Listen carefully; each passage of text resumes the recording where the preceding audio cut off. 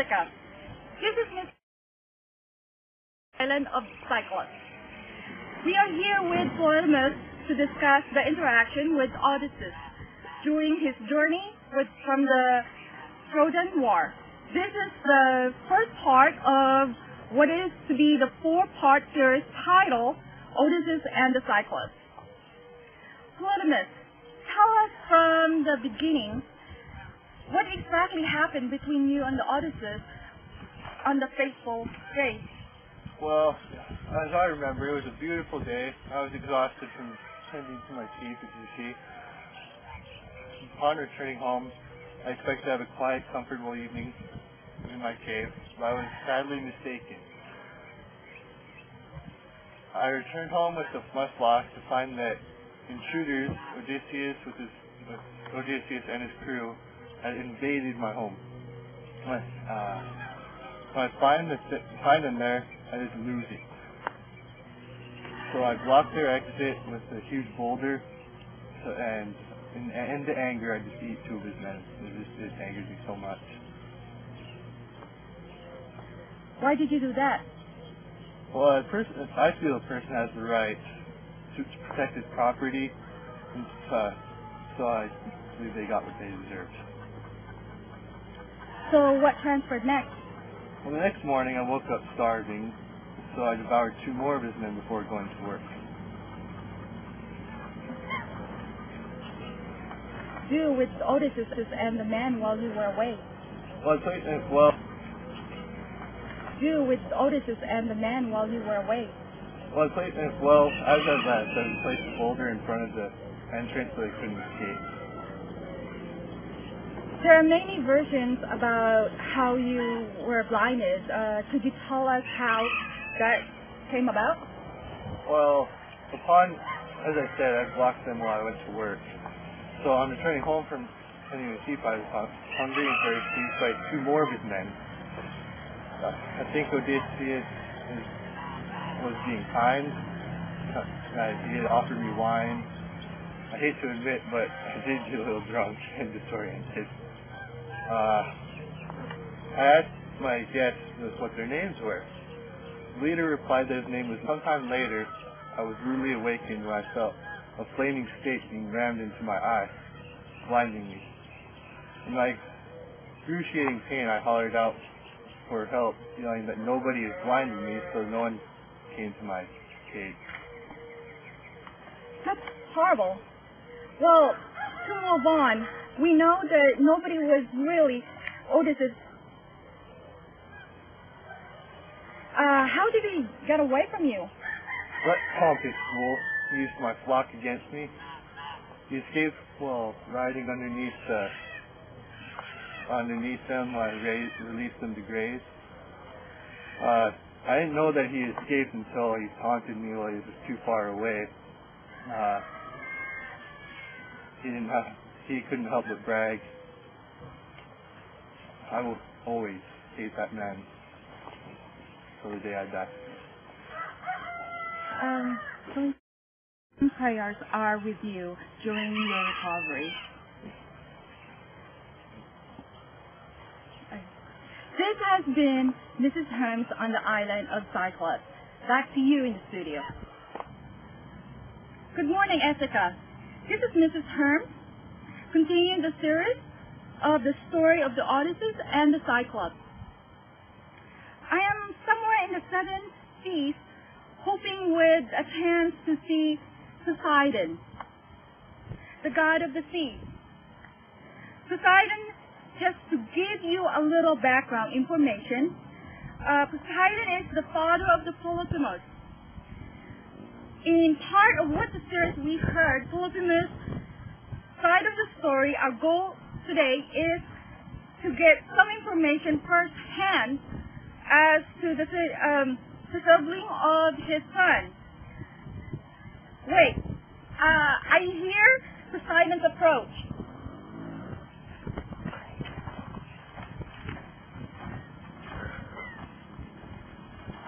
Poseidon, thank you for your time coming out in your busy day. Thank you for allowing me to share my feelings and point of view with you.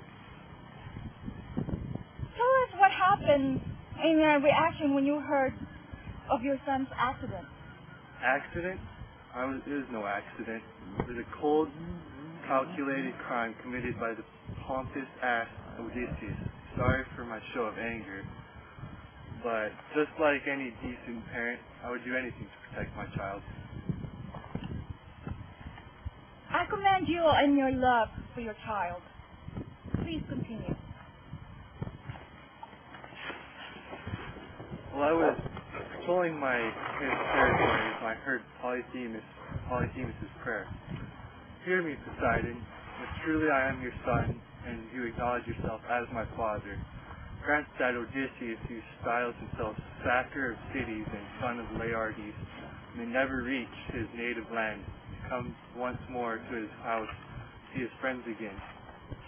Let him come in late an evil plight, with all his com- comrades dead, in someone else's ship, and find trouble in his household.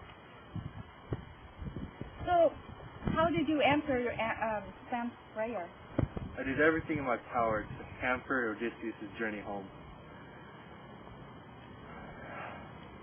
After his blinding of my son, I wreaked havoc on Odysseus and his men and his ships.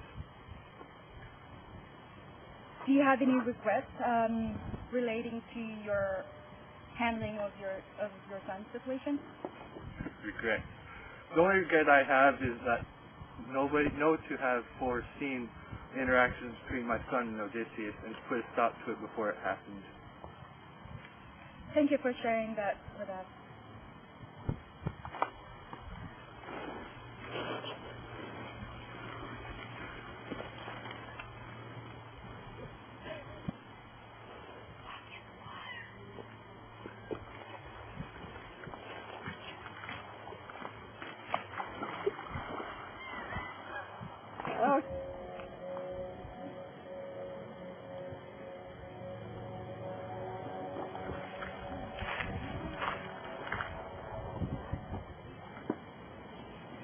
Hello, this is Miss Hermes, reporting on the fourth and final part of our series, Odysseus and the Cyclops.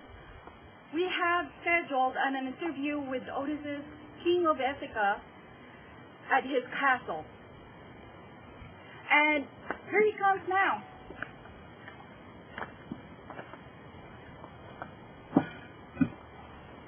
Thank you so much for having me.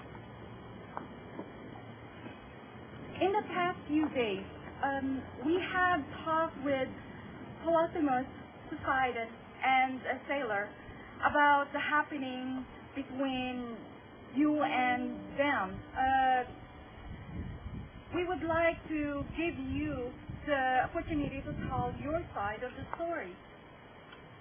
I appreciate the opportunity to tell my story. Go ahead and begin. We were sailing through the murky night as we landed on the island of the Cyclops. We were in great need of food and water to continue our journey to Ithaca. We came upon a cave full of crates of milk and cheese. The men wanted to steal away the food and head for the ships, but I, but I hoped that the Cyclops would make, make us welcome and give us food as gifts.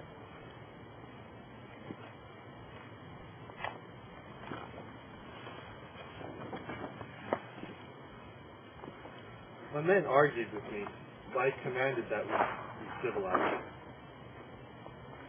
Why would your men follow you, follow your orders when they know the danger uh, they could be in? My men have been well trained. They followed the commands of their leader without question. I see. Please continue. Finally, Polyphemus returned to his cave. Oh, I was as polite as possible, introducing myself and my men, asking for supplies, and he in turn was very inhospitable. In, in his rudeness, he murdered a few of my men, seized them and tries to, and I tried and reason with him, reason with him, but I soon realized that there's no reasoning with his actions. So what do you do next? I came up with a plan. I figured out, I figured the only way to save ourselves through trickery. I offered him wine. He got, he gets drunk and passes out. As he is sleeping, we stab him in the eye. in one and only eye, blinding him. Since he cannot see, we are able to sneak out by tying ourselves up underneath his sheep, escaping as he let them out to graze.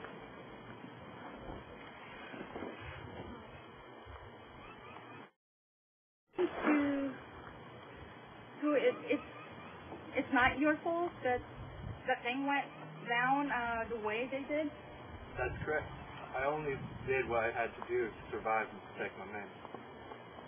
Uh, people of Ithaca, you decide who is the real villain in this saga. This has been Mrs. Hermes. Thank you for watching and good night.